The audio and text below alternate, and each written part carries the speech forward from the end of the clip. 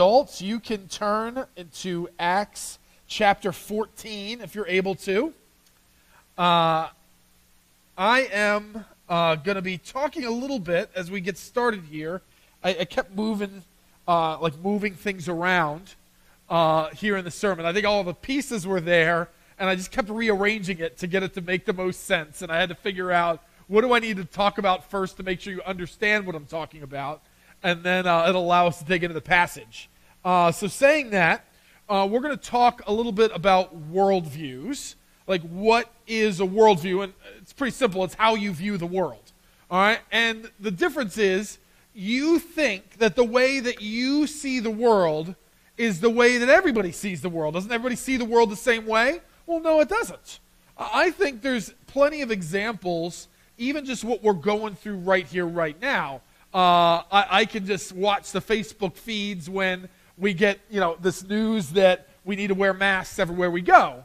And there are some people that look at the same, you know, we're all looking at the same numbers. You know, all the same. Some people look at those numbers and say, "Oh man, are you kidding me? Like this, these deaths are not anywhere. When you just look at deaths, it's not different than anything else in this area. When you compare it to, you know, the amount of deaths with suicide rate increases, correct? Other people look at it like, man, we have not had an infectious disease this bad since 1918. This is the largest amount of deaths because of a singular disease since blah. blah. Correct? Uh, you know, and so we can, depending on how we view even the data, can affect the way we interpret that data. Now, worldview is much bigger than that. Worldview comes with kind of some of the most fundamental questions, like who is God? All right, what am I? You know, what is a human being? Is a human being just some sort of evolved ape? Or is a human being a special, specific, unique creation of God? It, it comes to things in like, what is the purpose of life?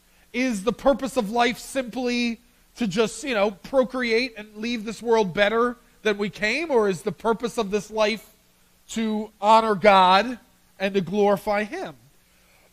As we begin to question these kind of big, giant questions like, what is God? What is my purpose? Is there an afterlife? This is what forms the foundation of the way we view the world, and we filter everything through this. Now, I'm going to give you three examples of what we deal here commonly in America. Common worldviews of, of your neighbors, common worldviews of people in your own family, common worldviews of people you work with. This is not uh, uh, where I start out, just I just want to show the difference, even with our neighbors, and then we're going to be able to look at some examples later on of, you know, yeah, when you're talking about people who live in tribes in the other side of the world, we're talking about the audience of Paul, you know, people believing in the Greek pantheon. All right, these the way they viewed the world is so so different. They might look at an event and see something very very different. But again, to start with an idea of what a worldview is, of what your neighbor might be dealing with, I think a very common, pervasive worldview that we deal with here in America is what I label the New Age worldview. The New Age worldview uh, might be the, what you would think of someone like Oprah kind of saying, you know, uh, in, in one of her television programs or radio shows or magazines. Um, it, the, the New Age worldview holds the idea that I determine what is true. I determine what is true. We hear this all the time like, well, well, that's true for you, but that's not necessarily true for me. Or I'm glad that works for you, that hasn't worked for me. All right, because I'm the one that determines what is true or not. We, we say things like, well, what I think the Bible is saying there is dot, dot, dot. Or I don't think God would do that. I don't think that's what God thinks about. What, this is the idea that I am determining what is right and wrong. I determine what is truthful and not. All right, and, and this is very, very common. It, it's a it, in in its history, it's a mixing of kind of the Eastern pantheistic worldview, the kind of the Eastern worldview with a Western worldview. When you mix those together, you get this New Age worldview, and it's it's, it's very me centric, and that fits in really well with our Western consumer mindset. And so the, the me, I determine I'm the captain of my fate. I'm the master of my soul, and this is a New Age worldview. Now, what we have in general, the broad term for what we believe as Christians, what we call a theistic worldview. This is still very common. You're going to know people in life that have a theistic worldview. All right? And, and they, they have the idea that God loves me and has a wonderful plan for my life. If, if you ever grew up like in the Navigators, things like that, the four spiritual laws, all right, and I've seen these little tracks around the four spiritual laws, that's the first spiritual law that God loves me and has a wonderful plan for my life. All right, this is vague. I mean, this would be true of a Jewish person, this would be true of a Muslim person. Uh, this is a broad topic. So, but when we meet people that believe that God is real and that God has a plan for your life, this is a theistic worldview. All right, now, hopefully, at least you can see how none of these are, you know, monoliths. They, they all interact with each other a little bit there are those that have a lot of new age influence to that that start you know start mixing in what i want to be true but the real theistic worldview should have more of an idea of well how does god see things we call this the christian worldview like how does god view it what does god say is right and wrong what does god say what i should do and we are looking for us specifically as christians the bible what does the bible say is the answer here. Obviously, a Muslim might say something like, What does the Quran say is the answer here? All right? But the theistic worldview believes that there's a God and that that God is involved in our life. All right? And this is a very common viewpoint of people here in America. Now, I want to share one other one, also something you would suspect is what is labeled as the naturalistic worldview. All right? This is the idea that only nature exists. So, as a Christian and theist, a theist, we would say that God is real, the spiritual world is real, and the physical world is real. And we call those equally real. That God is as real as the physical world. Like, I know I can feel this desk, but I also believe that, you know, God and angels in heaven are equally as real as this desk. They're just in the spiritual world. All right, the naturalist rejects that. They say the only thing that is real is the natural world. The only thing that exists is the physical world. And unless I can touch it and feel it and measure it, it's not real. They would hold to something like nobody exists on purpose, nobody belongs anywhere, everybody's going to die. All right? A very, maybe that's a little nihilistic, but the idea that there's not like a purpose of life, there's not a purpose of the universe, like there's not a why does this universe exist, it just does. Why do you exist? You just do.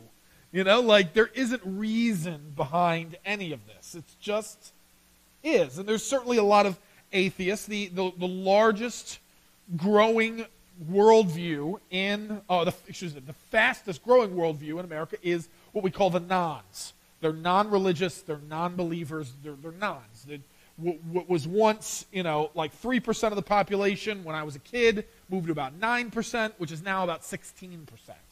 All right, now not all of them are like pure atheists.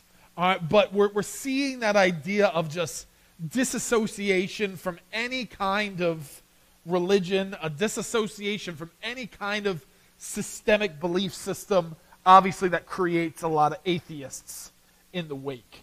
But the reason why I brought New Age first, New Age uh, the New Age worldview up first is that I think it's the most prevalent worldview in America today. And even self attesting Christians have let a lot of that thinking infect them. And we, we argue over personal preference, we argue over emotional impact. We say things like, well, I believe this and I believe that, and it's disconnected from what the Bible has to say, which is a term I like to use is a biblical worldview. All right, that we when we argue what we prefer and what we think about God, and we're not associating that with Scripture, we really it's just buying into that New Age mindset that I determine what is right. If I hear something in the Bible I don't like, I have to then reword it and fix it around and change it around so that it becomes more palatable for me. That's New Age worldview. We aren't allowed to do that.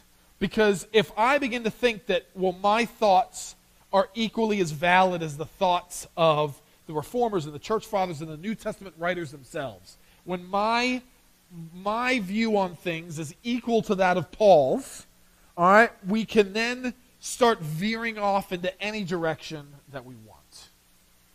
All right, we say a lot of things like, well, I think God views gay people like dot dot dot, or I think God views divorce like, or I think God views pornography like, and what follows is a huge coincidence that what I believe is the same thing that God believes. Fantastic. All right, we, we look at that as coincidence, that we think God views it this way, but we're really just saying, this is how I think. This is how I want to think about it. And we're not actually fighting for understanding what God means by what he says in Scripture and allowing our viewpoints to begin to coincide with his. All right, the way we view the world is more individualistic.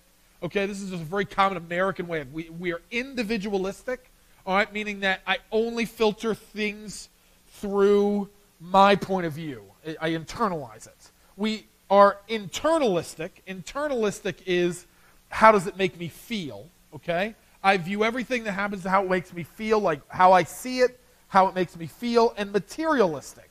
All right, that my worth is based on obtaining what I want. Now, we usually think of materialistic as people that want a big giant house or really nice cars. All right, but there's a lot of people that, that there's all sorts of things. That, Some people want a lot of friends. Some people want a lot of likes on Instagram. Like whatever it is that you want, we want more of it. And when we want more of something, that's materialistic. And so naturally, the way we view the world from our point of view individualistic, internalistic, and materialistic. All right? Now, I bring all this up to say is that the worldview in America today is very different than the worldview even just 50 years ago in America. All right? It's changed a lot. It's changed a lot. And depending on how you grew up, it can seem even different even just in the last few years. All right? But when Paul was heading out into the Gentile world, all right, it is such a different viewpoint than the way we were even just reading in a few verses earlier when he's in a synagogue in Antioch.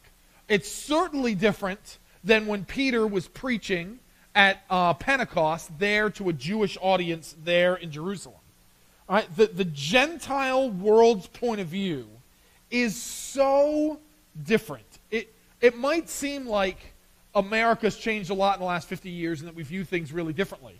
And it can even feel like, even just in a few years, it's different, but it is not compared to how drastically different the world was that Paul was entering into here in Acts chapter 14. Began in chapter 13, we're in chapter 14 now.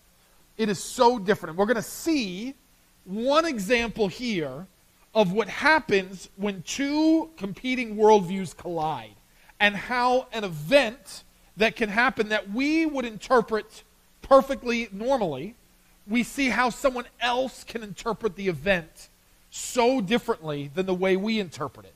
We can then see how Paul responds to that clash in worldview, and then hopefully that can help us do the same. And I'll show how our worldviews collide when we talk to even the world today. So I had to preface that a little bit, but let's get into Acts 14. Hopefully it starts making more sense to you in one second. Acts chapter 14, starting in verse 8. I'll break it down a little piece by piece. 14.8, at Lystra, okay? So we're, we're talking that he's in, you know, Asia Minor here. At Lystra, a man was sitting who had no strength in his feet, lame from his mother's womb, who had never walked. This man was listening to Paul as he spoke who, when he had fixed his gaze on him, had seen that he had faith to be made well, and said with a loud voice, Stand upright on your feet. And he leaped up and began to walk. All right, this, this seems very similar to miracles that Jesus performed. We see Jesus, um, you know, healing people who were lame. All right, even the mention of it, it's been like this since birth. We've seen a few examples of someone that didn't like get lame later in life, that they've been lame their entire life. All right, this is also similar to a miracle that we see with uh, Peter And John in uh, the temple, we talked about this a few weeks ago. They're walking into the beautiful gate. Here's this lame man. He's been there for like 20 years. He, they don't have any gold or silver, but what they do have is this power from God, and they can say, Get up and walk and heal him. So we see the power of Jesus. We see Jesus has clearly given this power to his apostles who are saying the same things get up and walk. That power has clearly gone to this kind of one of untimely birth, the way that Paul talks about himself. He was not one of Jesus' disciples growing up. All right, he wasn't specifically one of Jesus' disciples, but he has been radically saved. And because he's now been radically saved, we see that he has this same power that has come upon him, that he can heal people with just a word. Stand up to your feet. And this man leaps up, okay? So again, this fits into things that we have read about, and things that we have heard about, and things that we have seen. Verse 11. When the crowd saw what Paul had done, they raised their voice, saying in the Lycaonian language, The gods have become like men and have come down to us. And they began calling Barnabas Zeus and Paul Hermes, because he was the chief speaker. And the priests of Zeus, whose temple was just outside the city, brought oxen and garlands to the gate and wanted to offer sacrifices with the crowds. All right, clearly, these people viewed this miracle very differently than the way we viewed it. All right, we saw this miracle It's like, yeah, yeah, yeah, listen, Jesus did miracles to prove he was God. Jesus did miracles to reveal that he has power over nature and power over sickness and power over disease, power over demons. We, we recognize that Jesus is revealing his divinity. We then see as he's given this power to his disciples, as he promised he would do. When you go to Jerusalem, when the Holy Spirit comes, you will receive power to go be my witnesses. We see Peter and John having the same power. And people there in Jerusalem are saying, These men do what Jesus did. They must clearly be messengers from the Messiah. It made perfect sense. And again, when we read when we read Paul and Barnabas doing miracles, it's like, yeah, God wants these people to realize that they are truly messengers from the one and only living God, that they have power over nature and sickness and disease and sin and all these things. They have this power over that to reveal that God is really all powerful and they can believe in him and trust in him. This is how we view it. They viewed it very different. They viewed it as these stories that we've heard of Zeus becoming a man, and these stories that we've heard of, like, you know, Heracles, which is the Greek name for Hercules. Hercules is the Roman. That, that we've heard these stories of Heracles and Perseus, these half gods, half men that can do amazing things. We're looking at one right here. And the priest of Zeus, when you go to Greece, uh, when you went to, when I went to Athens, they're not quite in Athens yet. Uh, but when you go to Athens, like there's all these hills, and on every hill there's a different monument to a different god. And so there was they were probably near the little mount where Zeus's little mountain was, and they had a little statue on there for him, or a little uh, a little Parthenon looking thing for him to hang out in if he ever comes down. And so the priest or Zeus is like, grabbing all his sacrificial material, ready to like make a sacrifice, saying, Great Zeus, thank you. Thank you, Zeus. Thanks for gracing us with your presence. They obviously view the miracle very differently than the way we view it. All right, but when the apostle Barnabas, is verse 14, when the apostle Barnabas and Paul heard of it, they tore their robes, rushed out in the crowd, crying out and saying, Men, why are you doing these things? We are also men of the same nature as you. There is like our nature, who we are, we aren't half God, half men. We're not gods that look like men. All right? We're not gods in a little meat puppet body.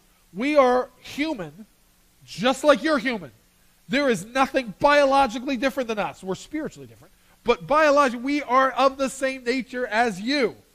All right? And he says, This is what we've been preaching. And we preach the gospel to you the good news that you should turn from these vain things to a living God who made the heavens and the earth and the sea and all that is in them. All right? And in the generations gone by, he permitted all the nations to go their own way.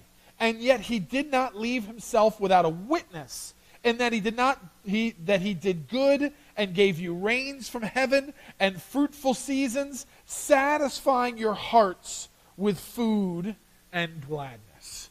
Now, this message here is really specific to the Greek pantheistic believers, uh, the believers in the Greek pantheon, they're not believers, uh, believers in the Greek pantheon. This is a really specific message. And, and in a second, I'm going to explain to you the, the, the, the worldview of the person that believes in what we call Greek mythology.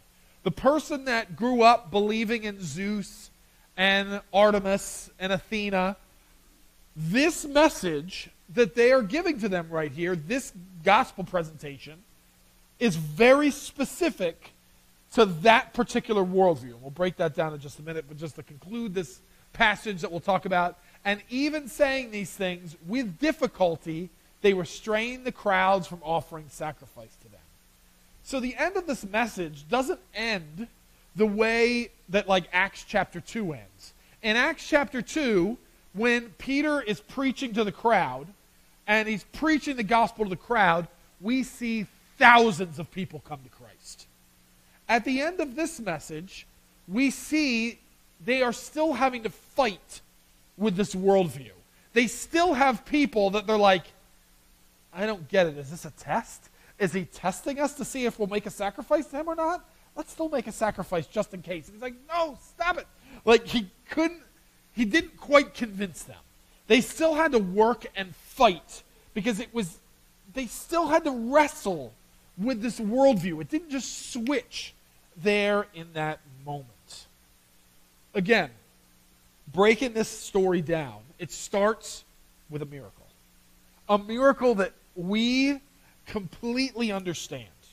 A miracle that seems very similar to Jesus, the other apostles. We see Paul now has the same miraculous power, something that we would expect if Paul really is who he says he is, he really is an apostle that God has set aside for the Gentiles to bring the good news to this lost and dying world, we would expect him in this kind of early stage here in Acts to have that kind of power to really prove who he was. And he does. And he does. But Paul has to deal with something that Peter didn't have to deal with. The reason why in Acts chapter 2, Peter stands up, or in Acts chapter 7, Stephen stands up, uh, Peter does another one in Acts chapter 4. The reason why it's so easy for him to stand up, share the gospel, share stories about Moses and Abraham and King David, and concludes with, You need to repent, believe in Jesus where it just seems like, yeah, that seems like a really clear gospel presentation. That's how we would present it. We would present it as here's who Jesus is. You need to believe that he died on the cross for your sins and rose from the dead. Turn from what you or your previous life and turn towards Jesus. The reason that it seems so simple to Peter is that the audience of Peter had a Judeo Christian worldview. Okay? They had a, a biblical worldview. The, the way that Dave, excuse me, the way that Peter thought is the same way that his audience thought. That there is a God, that he is the creator, that they believe that he would send the Messiah. Peter's preaching that Jesus did send the Messiah, and this Messiah was Jesus. And here's the proofs that Jesus is the promised Savior that God's been promising all these years they saw the world the same way. But now we are going to start seeing, beginning here in Acts chapter 14, and for the next few chapters, you're going to see that, that Paul has a difficult challenge. That the way that he thinks about God, the way that he thinks about the world, the way that he thinks about human beings is very different than his audience. It's very different when his audience hears, or when an audience sees his miracle, their assumption is, oh, this must be Zeus and Hermes. If, if, if he was near the water, they would have thought he was Poseidon. You know, like they, they are filtering it through the way they view the world. Now, I'm going to give you an example that I think will hopefully help you understand this a little bit more.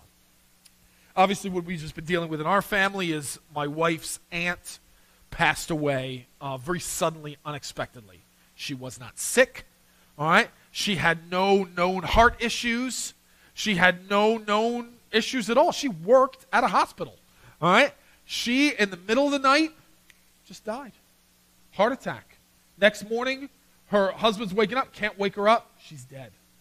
I mean, that, that's jarring. That's sad. She's young, 60s. I guess depending on how old you are, you can decide if 60s is young or old. She was very young. She's very young, very young. All right? Uh, the, she, she was young.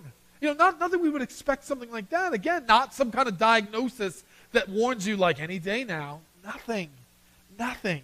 So, how do we view this? All right? With a biblical worldview, the way we view this unexpected act, I guess, first of all, we wonder what happened.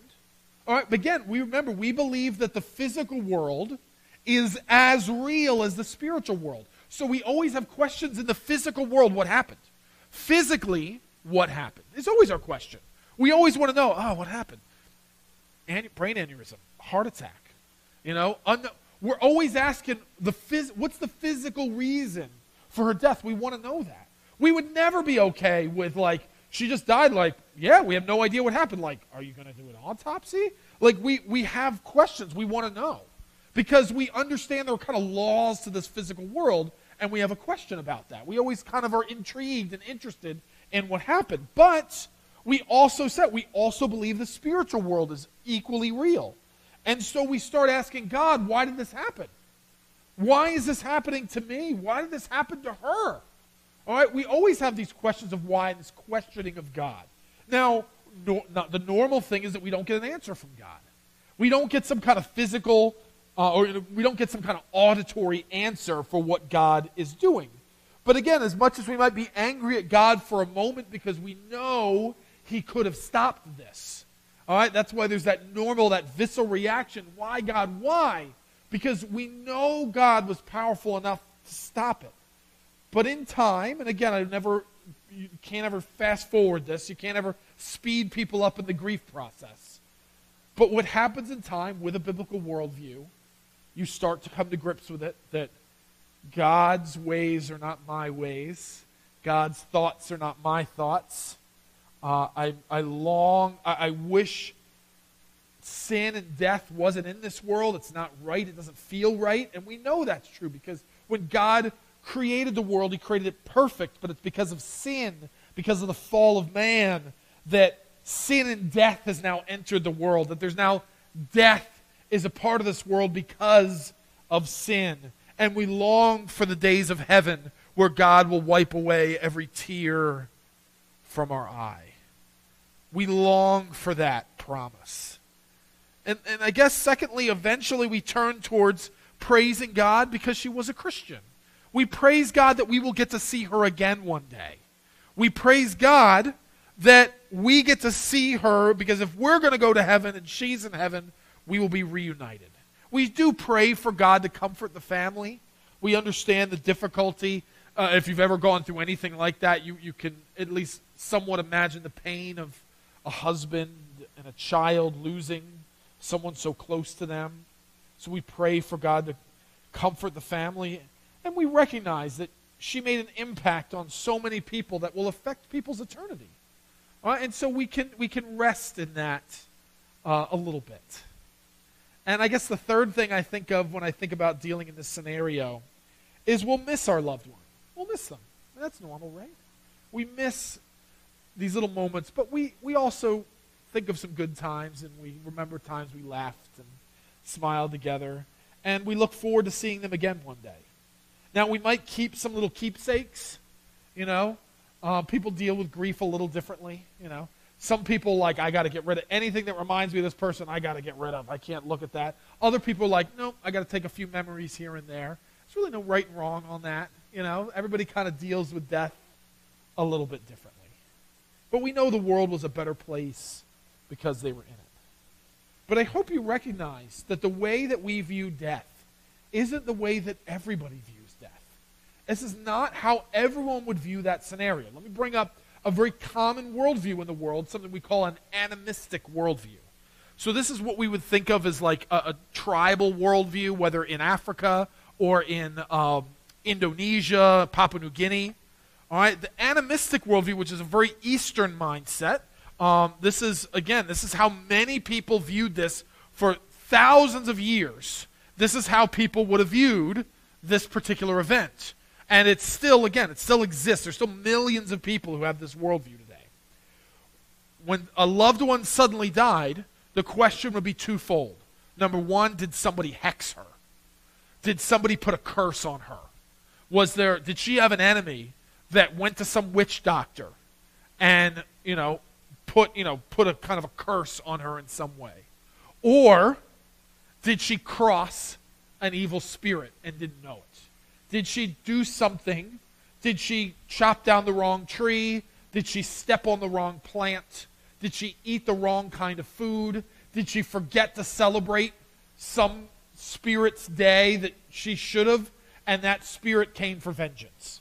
If somebody died in the middle of the night like that, they would be wondering A, did somebody hex them? Or B, did they cross some evil spirit? And that would then be on us to investigate we would have to then go start figuring out. We go talk to people. We're, we're going to go kind of try to follow the last few days of her life.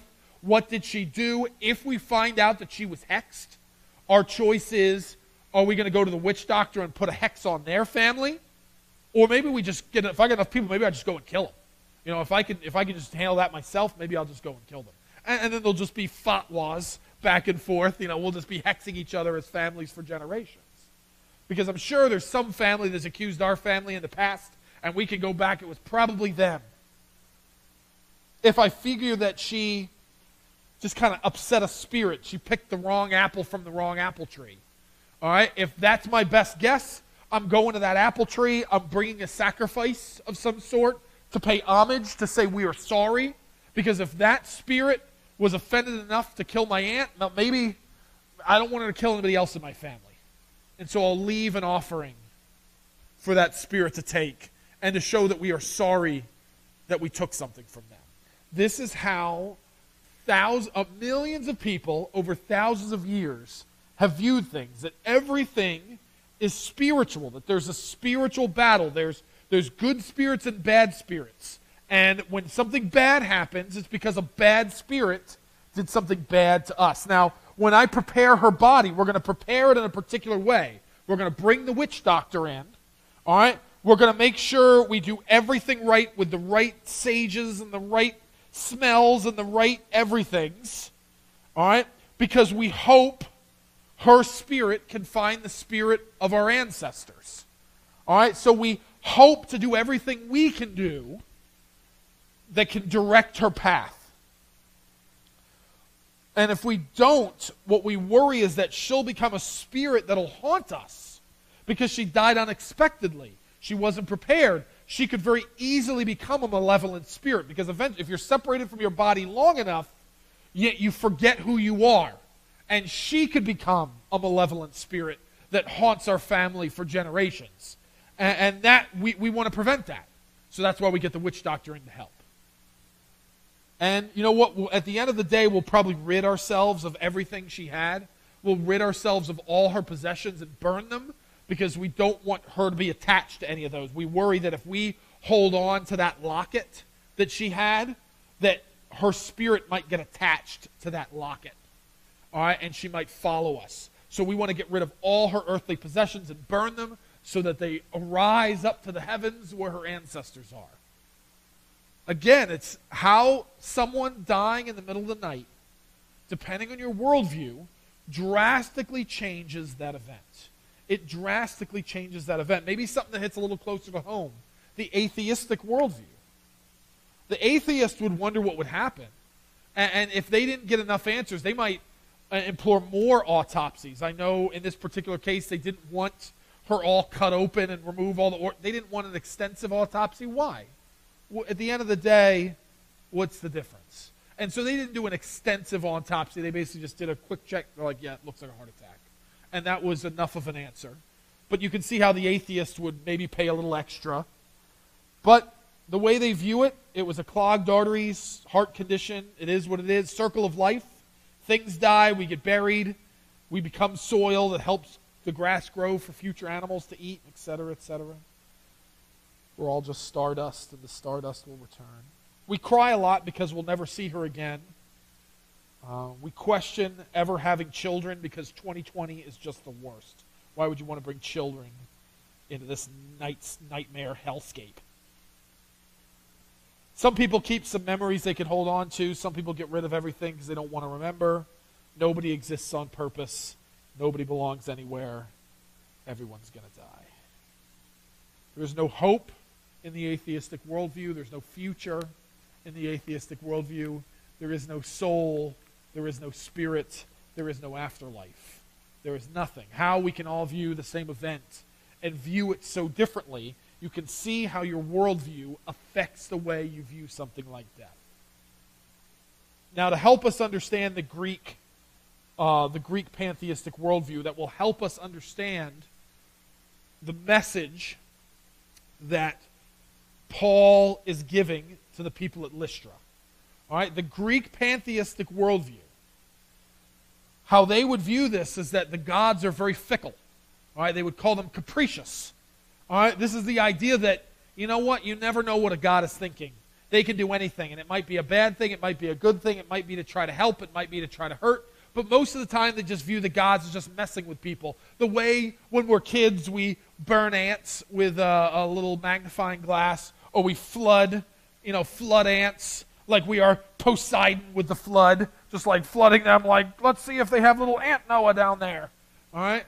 We, you know, what we do to ants is ants. It's like, you know, we would worry if somebody was like torturing like a cat, but everybody's allowed to torture ants. It doesn't matter, they're ants. All right? So when we do that, that's how they viewed the Greek gods. That they just play around with human lives like it's a chess game and they just put us in different positions to see what will happen. They have us go to war because they're bored. You know, this God's fighting. And like, okay. And they're fickle. So, loved one dying, it's the fates. The, they have the loom of fate and they decided to cut her thread. And why? Who knows? They do what they want. They're fickle. Maybe it was good, maybe it was bad, but sometimes they just want to watch us cry. They looked that she has a new journey ahead that there was new they, she, the physical journey has ended but now there's a spiritual journey. What we'll probably do we'll take coins and we'll place them on her eyes so that she has money uh, for the boatman to cross the river styx. We hope she will find a good place to spend her next life. She's got to get across you started the bad you got to get across the bad and that's why you got to pay your way in there you got to pay your way across the bad lake and so that you can enter the good possibilities. And we'll take some of the things and place them with an offering before Athena. We'll take some of her, that locket, and we'll take it and we'll put it at, at the feet of Artemis, or at the feet of Aphrodite, or at the feet of Zeus, or whoever we think might help her. Whoever we think, you know, again, if I lived in Athens, I would pick Athena because Athena likes the Athens because we named our city after her. You know, the Ephesians would have done Artemis because they viewed her, uh, I guess, uh, they viewed her as the protector of their city. So we, we, are, we are an Ephesian. Please, please take. So Lystra, maybe it was Zeus is who they looked at the most. but they would place some of her things before Zeus, hoping that maybe in an act of momentary kindness, he might say, All right, here, Go enjoy the summerlands. We can just hope. We have no promise. We have no direction. Just hope. Just hope. So when Paul and Barnabas, uh, when they are confronted and called Zeus and Artemis, and that's Zeus and Artemis there. Artemis is the guy with the fancy shoes on that can fly. Um, oh, not Artemis, uh, Zeus and Hermes. Um, so when he's called Zeus and Hermes, they really have two choices to respond. Number one, they could use it They could say, okay, hey, hey, Barnabas, don't be so hasty. They think we're Zeus. Let's go and say, yes, I am Zeus, and I'm here to tell you you need to believe in Jesus or you're going to die and go to hell. All right, let's use it, guys. Hey, let's, let's go with this. Hermes, yeah, yeah, let's, let's with this. All right? Yes, I am Hermes, Savior of this city. You will listen to everything I have to say. Stop doing all the sinful stuff. Stop doing that. Start reading the Bible. They could use it. Now, there's obviously a lot of problems with that. And I hope none of you think, like, that's a good idea. I saw Jacob, like, keep going.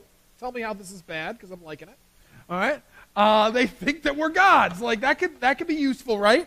It's a problem. Lots of senses. Number one, it's a lie. All right? Lying is bad. Don't lie. All right? It would only scare people into believing in Jesus. You know, the only threat you can do is or we'll punish you. And I think a lot of people do just do things for like fire insurance. They don't really believe it. They're just like, oh, whoa, I got to say some prayer? Deal. I'll say whatever you want me to say to protect myself. Uh, it brings a lot of baggage with it because Christianity isn't compatible with the worldview of the polytheistic Greeks. Jesus isn't a hero like Heracles. He isn't a hero like Perseus or Achilles. He is not a god like Zeus or Poseidon or Ares. The message of the gospel is built upon the world described in the Bible. And we can't interpret the gospel or the Bible through a different worldview. When we start trying to think like a Hindu person, you just start adding Jesus into a whole line of avatars. All right? Jesus is not in the line. Jesus is not another God like Zeus and Poseidon. You're not adding in, okay, there's a Jesus, sounds good. All right, he's not another one. All right, this is why they are so quick to deny this, because they don't want them to think that the way they view the world of there being lots of gods is the correct one. It's incorrect. So they deny it. All right, and to deny it, but they do make sure they can connect it. And what I mean by that is, no, I'm a man just like you. But what he says after this is very specific to the audience. All right? And this, this matters to us. I'll, I'll talk about this, but let's look at what he says here. So, as he preached the gospel to you, that you should turn from the vain things to a living God. And so, what he's saying is no, don't believe the vain things. Don't believe these fake stories of Zeus and Hermes and Poseidon. No, no, set that aside. Believe in a living God. Okay? God is not a distant being that is long dead. God is alive. He is real. He is here and ultimately revealing his power through Paul. All right? Who made the heavens and the earth and the sea and all that is in them. So, the way that the, the Greeks viewed it is that there's a god of the sky, Zeus. There's a god of the water, Poseidon. All right? That there is a god of the beasts, uh, ultimately would be Ares in their sense they controlled all the things in the earth. So he's saying the living God is the God who made the heavens, who made the earth, who made the sea and everything in it. So he is presenting the living God as above and beyond any other gods you've heard of. Your God, what? Supposedly rules the sea? My God made the sea. Your God supposedly like rules the air. My God made the air. The living God, he is presenting him as above and beyond all those things. In a generation gone, he's permitted all the nations to go their own way. So now he's showing, like, well, if, if God is real, how come we haven't heard of him? He's telling them why you haven't heard of them. We have allowed people to go any direction that they want to go. You wanted to believe in these fake gods? He let you. You people, I have other people that they wanted to believe in like the sun god like Ra and build pyramids. He let them. So he let you believe whatever it is you wanted to believe. Because again, what's God's choice? God's choice can either be I'm going to destroy them. Because they are disobedient to me, I'm going to destroy them. We, we look at that and we might say, that's not a bad idea, God. Take all the, the, the evil people out there all the people doing wrong, all the people doing bad, just destroy them. All right? Flood it up. Let's keep doing that. I like that flood thing. All right? Keep destroying the world. The problem with that is, if you keep doing that, you guys never show up. And the reason why I see a lot of, uh, a lot of, you know, German pagan traditions. I see a lot of Anglo-Saxon Celtic, you know, pagan gods and goddesses. If you look into your ancestor, oh, Harun, oh, his ancestors were a mess. All right? Every white person, every brown person, every black person, every yellow person, every red person, we all have a history of horrible paganism that rejected God, that turned towards false gods, and started worshiping those false gods instead, started building in pagan practices that had all sorts of sins and evils being passed along as normal with prostitution and death and murder and sacrifices galore. All right? And that is what our history is filled with. We have ancestors not all that long ago, all right, a few hundred years, that were totally, totally pagan. And if God just destroys them all, you don't exist. You don't exist. It is in God's goodness, His graciousness, His patience that He doesn't destroy evil people. Because the future generation, the children and the children's children and the children's children of those evil people, one day were going to repent and believe and come to church this morning. You guys. God loved the world so much that he sent his only begotten Son. And the implications of that is he sent his Son to an evil world so that there might be those in that evil world that would eventually come to know Jesus as their Savior. And God saw that as good. And in his love, he wanted to save people who were not yet born. And so here he's preaching to these people. He says, In generations gone by, he's permitted all nations to go their ways. He, he allowed, he doesn't like it. He's not wanting them to do that. He permitted them to continue on in their evil and their ignorance. For someone like Paul to finally show up and preach the good news. He's going to get there.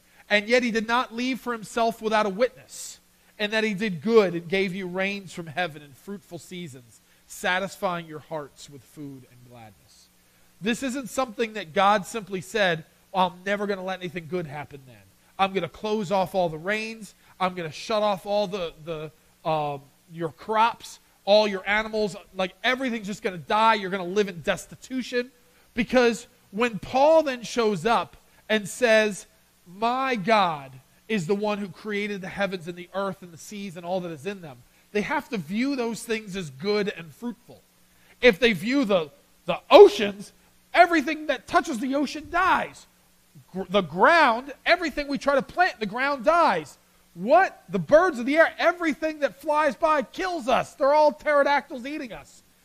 If everything is bad, how do you come and present God and saying, He is the creator of these good and things that bring you wealth and prosperity? He is the good God that gave a good earth and a good sea and a good sky to provide for you and your families.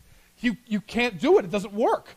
And so Jesus has brought blessing to people that don't deserve it so that one day they might hear of the true and living God, the creator of the world, and ultimately he's going to share about the Savior of the world. But he's giving us a pattern here. He's giving us something. As we deny, uh, as we rightfully would deny that we are not some, you know, God come in the flesh, all right, that we are simply a messenger from God, we would do the same thing to a Muslim. What I would say to a Muslim is that there is a true true that there is one God who is one and all powerful, who can do anything. And he chose to become a man and to die for the sins of mankind in order to forgive them.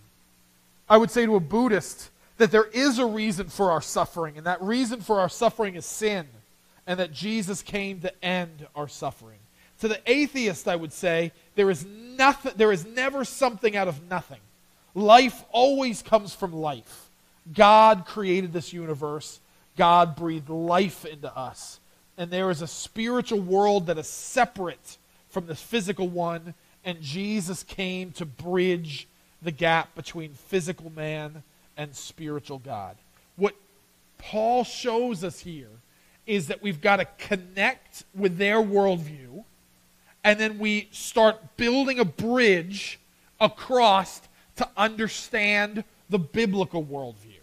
We take the phrasing and the words that they will understand, and then we help them build a bridge to get to the understanding of who God really is. So let's bring some application to this, okay? A lot talked about. I think I can bring it down and actually give you something to walk away with. Number one, and these do go in order. Number one, the first thing that we need to take away from this is we need to bring the gospel and do good. Okay? These are two things that God is revealing to us through the life of Paul, and that he is revealing Paul to be obedient to what God has called him to do. He is out preaching the gospel. That was what he was doing. But while he was preaching the gospel, he saw someone in need and met that need. Okay? I see the church always kind of goes, it seems to swing back and forth, and it's not supposed to swing, it's supposed to find a balance. They swing between well, let's do good humanitarian aid things. Let's feed people and bring medical attention. All right, and then we swing back the other way and say, no, no, no, no. Let's all be about sharing the gospel. Let's just fill stadiums and preach the gospel, and that's it. And, you, there's a purposeful balance. We, our reason for going out should be to share the gospel, but when we see someone in need, we meet that need. So we bring the gospel and we do good. Okay? So, what are we supposed to do from here? As you go from this place, when you go to work from your homes, when you go to work, when you go to uh, the grocery store, when we go to our neighbors, we look for opportunities to share the gospel. That is a reason why God put us in this world is to bring the gospel to people. We share with people about what God is doing in our life. We share with them how Jesus can save them. But if we see someone in need, we're going to meet that need. We're going to do good. The second thing, seek to be understood. Okay? Don't, as you start talking with someone, this can hopefully maybe help you in how you talk to people.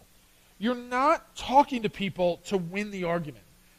We don't like argue people into believing in Jesus. Like that doesn't work, and I hope you realize that, doesn't work. Like you can have like you can be the smartest and best to know all the answers, you know, the whole people don't care how much you know until they know how much you care. Like, you can't argue people into believing the gospel. Eh, don't think about trying to win an argument. Think about, and certainly don't think about, I got to get this person saved. I hope you realize, like, God's the one that saves people. You get to share the gospel, God's the one who saves. We should seek to be understood. All right? And that comes with asking them a lot of questions do you understand what I'm saying about this? Do you understand what I'm saying about that? Seek to be understood. The New Age worldview comes with a lot of misunderstandings of what we're saying. All right, so we got to be clear. We got to ask questions. We got to restate things. All right, Paul and Barnabas showed it's really easy to get misunderstood by people with a different worldview. They could totally misunderstand what you're saying. If you talk to a Jehovah's Witness or a Mormon, they will, the first time you talk to them, will misunderstand what you're saying. They're going to say this. That's exactly what I believe. No, it's not. It's not. You believe something very different from them. But they've redefined words, and we got to ask a lot of questions and say, what do you mean by this? What do you mean by sin? What do you mean by God? What do you mean by Jesus? It takes, it takes a relationship. So, what our goal is to seek to be understood. Because at the end of the day, if they're like, I understand what you're saying, I don't agree with it, but I understand it, that's huge. If they can understand what you mean, that's what we fight for. Number three, I guess seems like a little bit of an obvious one, but don't let people worship you. I guess, you know, be like, uh, duh, Joe, why did you have, have to bring this up? I, I, think there is, I think it's obvious, but I, I do want you to know that people, when you do this, if you share the gospel, take the time to be understood, people really start to look to you, to rely on you, to learn from you. They can un, they can accidentally put you on a pedestal that they're essentially worshiping you because they need you. Like, I can't understand this Bible without you. I, I, I can't do this Christian life without you. That's bad. That's bad. They, they've made you a God. All right? They have, they have they started to worship you, to rely on you, to trust in you. Everything that we do in discipleship is all about you being able to do this on your own. You can do this. I'm not different than you. I'm not more special than you are. And that last piece of stay vigilant to the truth. Uh, all these things can be very easy to get lax on. All the, it can be very easy to lose the focus of the gospel, either in the desire to share the gospel or in starting to mess up and change the gospel to suit the way the world likes to think about things and to I'm going to less I'm going to make the gospel more palatable to this world. Uh-uh. Uh-uh. All right, we've got to stay vigilant. All right, when we look at that last little verse here, that they had to resist. Uh, I like it. Even saying these things with difficulty, they restrained the crowd from offering sacrifices to them. Like, this is, this is a vigilant task to keep focused on the truth. All right, and when we are trying to stay vigilant to the truth, that comes with the gospel. That's when it comes to doing good in the world. All right, that's when it comes to taking the time to make sure people understand us. That's when it comes to make sure that we don't become a spiritual crutch for people. All right, this is, we got to be vigilant in our task, and it's difficult. The thing I want to c- comfort you with is, I, I don't know if it, maybe it's, it, it's really sad, but I, I meant to comfort you. The really sad thing is, the world that we live in is closer to the, the, the Gentiles that Paul was preaching to than it is the crowd at Pentecost that Peter was preaching to. Okay? I don't think there's going to be very many instances in your life where you're going to be in a crowd of people that have kind of a Christian worldview and they just don't know Jesus as their Savior, and you preach the gospel to them and thousands come to Christ. I think what you're going to see is a lot closer to Paul's ministry. And it's easy to glorify or, you know, to, to change the stories of Paul. Paul is incredible. But when you read the end of these stories, two people come to Christ. Three people come to Christ. Zero people come to Christ in this story. Like the people at Lystra, we don't see anybody that comes to Christ there. They actually end up moving on to the next city, and so people come to Christ in the next city. That's what life is way more like. You are dealing with a pagan culture here in America. They are a mix of new age, individualistic, I determine the truth. The, the answer is I know when I meet someone, back in the day, he's trying to figure out, like, I wonder if they worship Zeus or if they worship Artemis or they worship Athena. I have an advantage that when I look at people, I know who they worship. They worship themselves. They're the God of their universe. All right, so I know where they're coming from a little bit. All right, and so I've got to engage them like, ah, I got to get to know this God that they worship. I got to get to know them enough so that I can share the gospel with them, build a bridge that can help them see how God is truly the ruler of their life. And they need to submit and hand over the authority that they want, the kingship that they want to sit on, the throne that they want to sit on, and they need to give that to God because uh, of their life. God is the one on the throne, and they're trying to usurp it from him uh, throughout the way they live their life we are dealing with a culture much more similar to Paul. And when we look at Paul's adventures, we're going to see a world much more similar to that. When you share the gospel, there's going to be many instances that people aren't going to come to Christ. And there are going to be a few instances where maybe one or two, maybe one or two people come to Christ. And that's something to celebrate. But what we see in Paul's life is those one or two that come to Christ start growing. And those one or two turn into four to six, start turning into 8 to 16, and before you know it, he's starting to write them and calling them the church at Corinth and the church at Ephesus. Because it doesn't take long for a small group of believers to grow into something that we would really call a church. It just takes a few. And that is the blessing that we see in, Paul, uh, in Paul's life. Not the thousands of crowds that come to Christ, the crowd where one or two come to Christ. Because the worldview is so, so different. It's what you're facing. Let's pray together. Jesus, ugh, I pray as we engage this world, as we talk to our neighbors and our friends and our family, and we start seeing, like, man, they, they view the world so differently than me. They view the world so differently than the Bible tells them to view the world. They live their life so differently than the way the Bible tells them to live it. God, let me not lose heart. Let me know that this is a difficult journey. There's going to be a lot of misunderstandings. There's going to be a lot of stumbles along the way. But I want to share the gospel with them. I want to do good and help them wherever I can.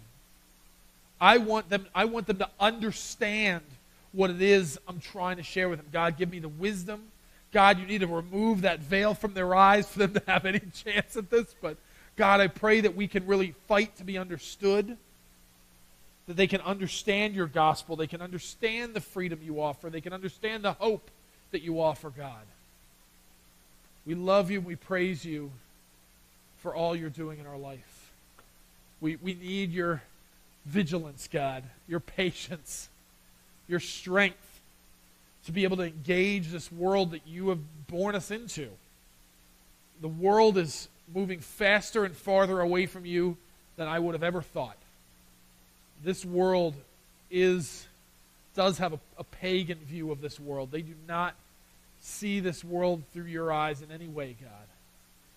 God, help us communicate to those around you how they can begin to see things the way they ought to see them. See things through your eyes, through your lens, through your scriptures, God. Help us, Lord. In Jesus' name I pray. Amen. All to Jesus I surrender. All to Him I freely give. It's what He's calling us to do, and it's what He's calling us to help others to do. Hope you have a great week. Hope to talk to you soon. Email me, call me, text me anytime. I'd love to be praying with you. Uh, we will talk shortly. I will hopefully see you next Sunday. God bless everybody.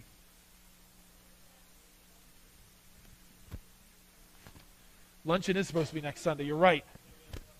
Uh, luncheon next Sunday. Sound good? I will put some things out on Facebook to remind people. So luncheon next Sunday. It is the first Sunday of the month. Thank you. I, have been gone for a week here. I lose all track of time. We're going to try to stick with first Sunday of the month. So uh, bring anything to share next week, uh, and we will have luncheon uh, next week. I'll put some things out on Facebook to remind everybody. We'll try to get to our care groups and remind everybody. If you're able to join us here, we will eat uh, next Sunday. Uh, otherwise, you can feel free to join us from home, and we will talk and share and uh, update on where we're at with some things here next Sunday.